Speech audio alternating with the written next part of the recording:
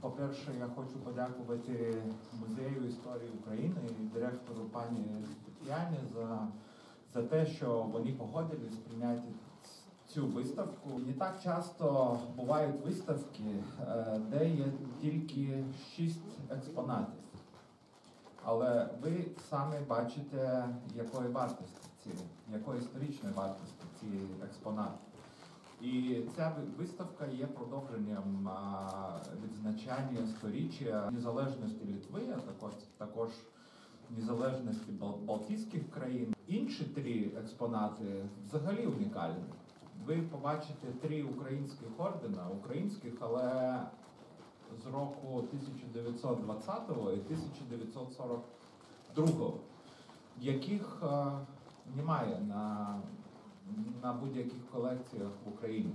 Наша история тоже была очень такая, э, ну, разная. Она очень была связана с трагедиями, с разными войнами, оккупациями. Все эти вещи никогда не были в продаже. Я э, пок- ну, разменивал там и по-разному другому, поэтому какие-то цены трудно сказать, потому что это просто неоценимо, это, это символы государства. Э, Латвийская цель тоже, она принадлежала президенту Альберту Квесису, э, латвийскому президенту. Литовская цепь, оригинал э, золотой цепи Витруса Великого. Я думаю, что это один из самых красивых орденов Европы. Вообще очень красивый орден, сделан в 30 году, очеканен в Швейцарии, а теперь мы уже делаем сами. Даже ордена имеют свою историю, и она иногда история совпадает с историей государства.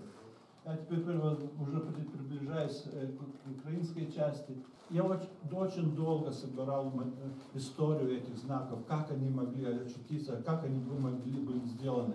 Особенно я говорю про э, эти верхние знаки святого Михаила.